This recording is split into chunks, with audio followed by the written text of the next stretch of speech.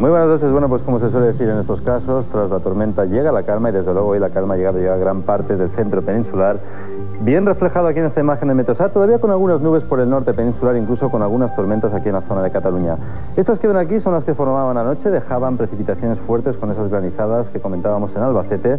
y hay los cielos bastante más despejados, algunas nubes por el Cantábrico, y algunas tormentas que se han formado por la tarde aquí en la zona de Gerona, también de Barcelona, donde por cierto la temperatura en la ciudad condal por encima de los 30 grados. La máxima hoy Murcia con 36 grados, algunas capitales de Andalucía también con temperaturas por encima de los 30 grados y por el norte por la zona de la cornisa cantábrica un poquito más de fresco con termómetros en torno a los 20-25 grados.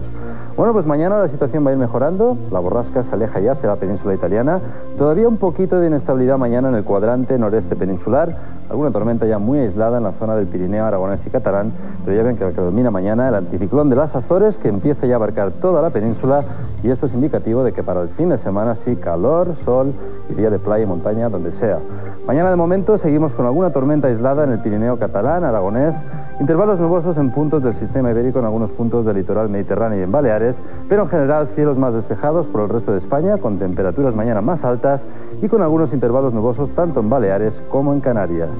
Lo más destacable, eso sí, para el fin de semana, como les decía, algunos intervalos nubosos por el norte, pero en general sol y calor. Nada más, feliz noche a todos y hasta mañana.